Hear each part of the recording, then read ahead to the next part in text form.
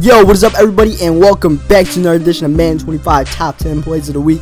Today we start off with play number 10. Megatron is too much to handle as he spins out of a tackle attempt. That's someone trying to tackle this man, but he's too big, too fast, and too strong. Nothing has changed with Megatron. He's still scoring touchdowns. That's what he does. And we also got a rage quit in here for an added kicker. Now on the play number 9, Haynesworth put on skates. Poor Albert Haynesworth is left one-on-one -on -one with Jamaal Charles in the open field. And guess who wins this battle? We hit the stop and pop on that poor fat guy. And he's on the sidelines. He's still running. He can't hit the brakes like Jamaal Charles and accelerate like that. And we get the touchdown. Now play number 8, spinning salsa. You already know Victor Cruz is in this one. And Eli Manning delivering a beautiful pass. And then Victor hitting the salsa, or hitting the spin there. And then we're going to avoid the last defender with a little bit of a swerve. And then we're going to hit hit the salsa after scoring a touchdown. Now play number 7, beating the blitz for the win. With barely any time left, my opponent sends an engage 8, and we have the perfect play dialed up for that, and it's a screen pass, and with no time left, we break the tie game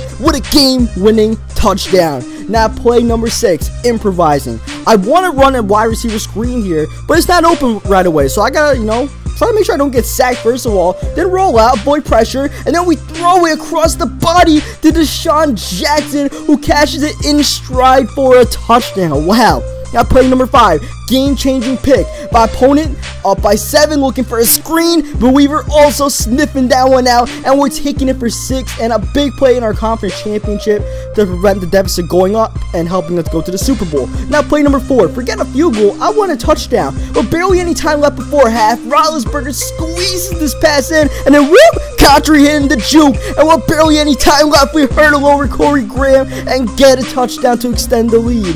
Now on to play number three, splitting the defenders. Deion Primetime Sanders on the opening kick return. First, we're to hit a little stop and pop because that's cool. And then we hit the spin on those two defenders, split them, and then there's nothing but green for Deion. Those two defenders stopped after the spin. They're like, wait, what the hell did he really just did that? Yeah, Deion really just did that, and he's in the end zone because of it. Now, play number two, improvising 3.0. You thought the last play was sick. Look at this one. Try to run FL screen, nothing open. Got to avoid pressure. It's running around with Kaepernick, trying to make something out of nothing, getting some blocks. Then we look up field, and there's DeSean Jackson in the back of the end zone, and we somehow get a touchdown. But there's one play better. The granddaddy of all stopping pops. Jamaal Charles one more time, taking the run to the outside. Four defenders in the way, and we hit the stop and pop, and all four of them get put on skates. And Jamaal Charles and all his buddies run into the end zone for the touchdown. Gotta leave a like on the video if you enjoyed all those plays, especially this six stock stop and pop move. Subscribe for more Madden 25 online games and stuff like that, and I will catch you guys next time.